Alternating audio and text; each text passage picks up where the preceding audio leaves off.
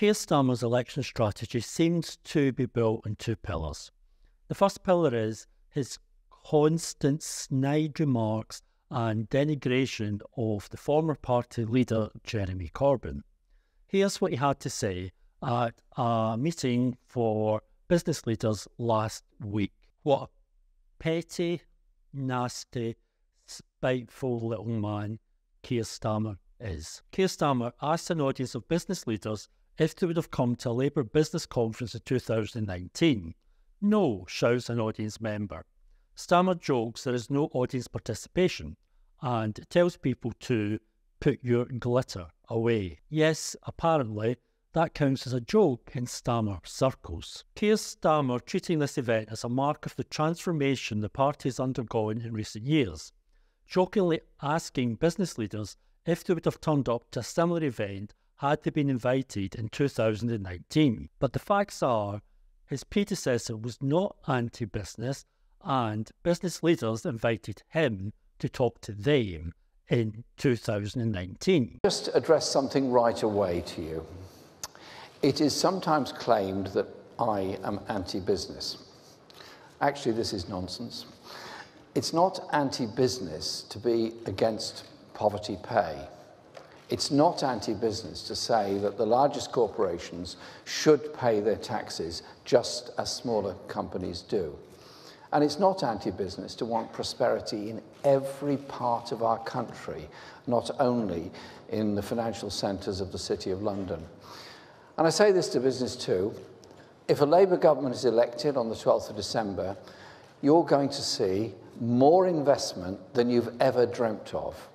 You're going to have the best educated workforce you could ever have hoped for. The first line from his speech that you just saw in that clip there was, and thank you very much for inviting me to speak here today. As Catherine succinctly puts it, not everyone will agree with his policies, but one thing that is noticeable about Corbyn's address to the CBI is that he didn't need to sneeringly put down his predecessors to establish his credentials. Also, he actually had policies. The second pillar of his election strategy seems to be a never ending series of U turns. Let's have a quick look at what has been U turned on this week. A year ago, Keir Starmer said, I will abolish the House of Lords to restore trust in politics. Except, as it turns out, he'll neither be abolishing the House of Lords or restoring trust in politics. Labour has ditched its pledge to introduce an elected House of Lords. The Observer reports that Labour is expected to only back limited changes, such as abolishing the 91 remaining hereditary peers.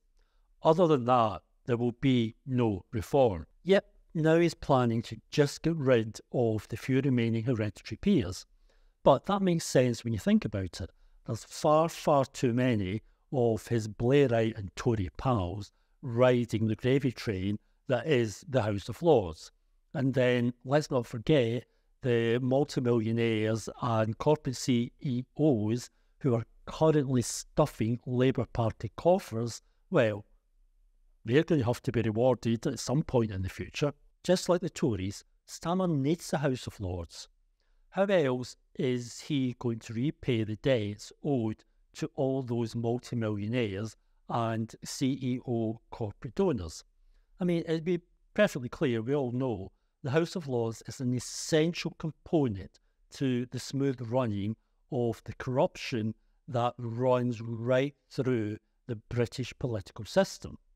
If you don't believe me, just look at recent Tory and a little bit further back, New Labour appointments to the House of Lords and work out exactly why they got into the House of Lords. And believe me, it had nothing to do with their contribution to society, but everything to do with their contribution to the respective party funds. Then we have the U turn on banker bonuses. Labour has no intention of reinstating cap on bankers' bonuses, says Reeves. Victoria Derbyshire tweeted Labour's Rachel Reeves says they will not reinstate the bankers' bonus cap. Last year, she tweeted, In midst of their cost of living crisis, the Conservatives are scrapping the cap on bankers' bonuses. It tells you everything you need to know about this government. Well, Rachel, your sudden change of heart on the issue tells us everything we need to know about you and a future potential Labour government as well.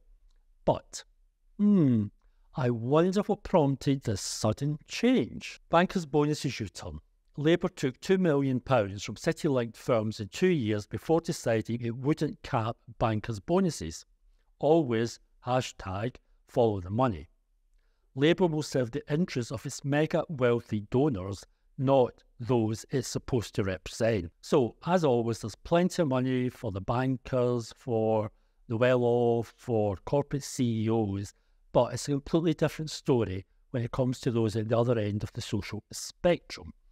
Like so many other Blairites, currying favour with the rich and powerful while sticking the boot into the most vulnerable and poorest in society is built into Ray's DNA. And talking of the poorest and most vulnerable in society. Clarify, Labour's happy to cap child benefit but not bankers' bonuses? Well, I would not make that comparison. I just did. The, the, the point around this is this is not about limiting. The bankers' bonus policy was never about how much people are paid. It's the structure. So basically, what was previously bonus went into basic pay. So I just want to be clear. This is not about people saying bankers should earn more. That's not our view. But you're capping child benefit, but not bankers' bonuses. Bottom line. The official reason the Labour Party is given for these dizzying U-turns is a bulletproof manifesto. So to be clear, bulletproof means there's nothing that the Tories or the right wing press could disagree with. So, where things are going, they might as well issue a joint manifesto, certainly save on paper and reading time. What an excellent approach. In order to avoid being criticised by the other party, simply copy their entire manifesto and ditch your own. There's that forensic genius for you. But the real reason? The ditching of all these pledges has nothing to do with some electoral calculation. Keir Starmer is guaranteed to win the next election. These policies that he's ditching, such as cap on bankers' bonuses, uh, nationalisation of the utilities, abolition of house laws, these are popular policies that even popular with quite a few Tory voters as well. So winning the election, gaining votes to win the election, that really isn't the motivation behind these moves. Voting intention Conservatives 20%, Labour 47%, survey taken 16 to 17th of January 2024. Keir Starmer is guaranteed to be the next Prime Minister. The party could submit a blank sheet of paper as its manifesto and they'd still be guaranteed to win thanks to the complete implosion of the Tories. Starmer's Labour don't need to offer lifelong traditional Labour voters anything. They don't need to work for those votes.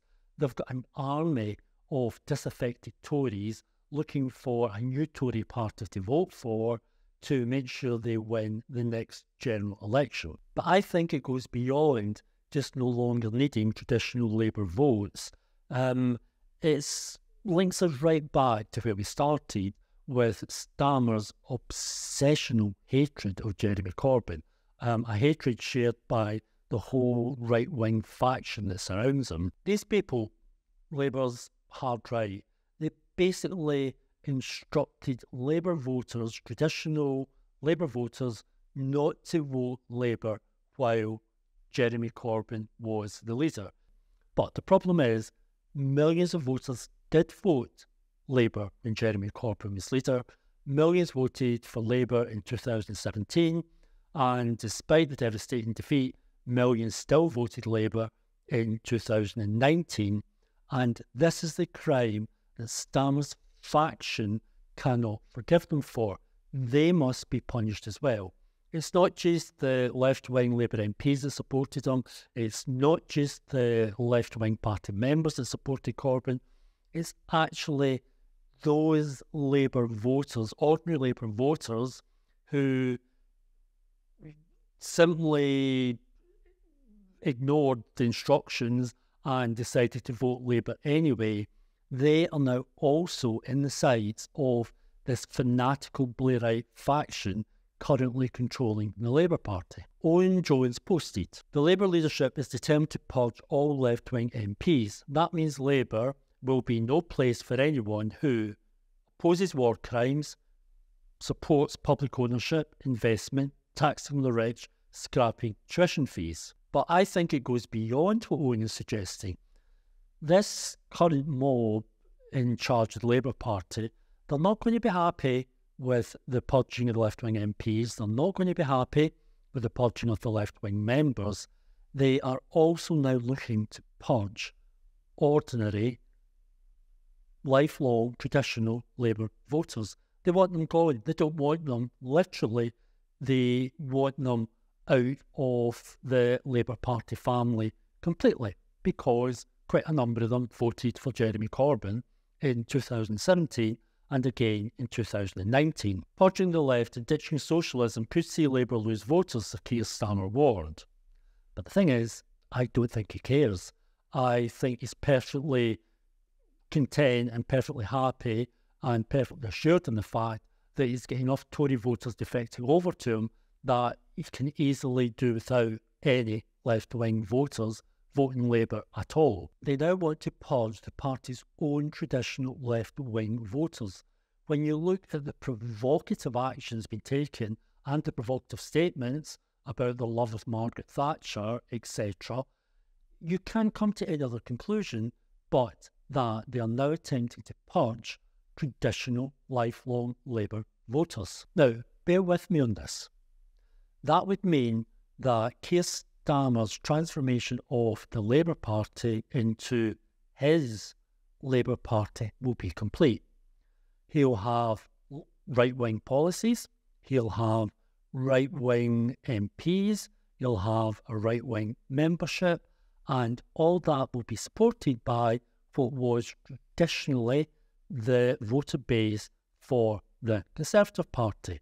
And hey presto, the likes of Starmer, Reeves, Blair, Mandelson, they will actually have created the perfect political home. A Tory party in all but name. Labour are the real Conservatives, says Keir Starmer, as he promises to protect, quote, our way of life. And what about the rest of us? And by us, I mean anybody even vaguely to the left of Margaret Thatcher. What are we supposed to do? Are we going to just continually and blindly vote for a party that we've spent our whole life opposing simply because it carries the legacy brand name of Labour? Or are we actually going to spend some time looking at the candidate list in our constituency at the next election in order to find somebody that comes somewhere close to our political values, the political values that we've held for our whole lives, thanks to his army of defecting Tory voters, we we can vote with our conscience, safe in the knowledge that the current Tory shower is definitely going to be replaced by another Tory shower come the next general election. So vote with your conscience, mm-hmm. vote for the candidate that you feel most closely matches with your political beliefs, and let's just take Keir Starmer at his word when you told all of us collectively in the vehicle on the left, there's the door, feel free to use it. Thanks for watching the video. Please help support Left Wing Voices on social media by liking the video and subscribing to the channel. Okay, chat soon.